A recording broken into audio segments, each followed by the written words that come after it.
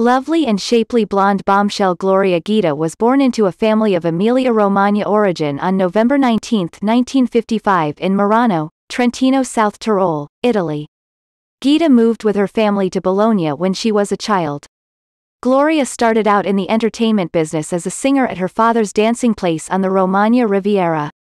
Guida then embarked on a modeling career and was named Miss Teenage Italy in 1974. Gloria subsequently went on to star primarily in a slew of racy and playful Italian sex comedies made throughout the 1970s. Guida married actor and singer Johnny Dorelli on May 15, 1991. She's the mother of a daughter, Guendalina.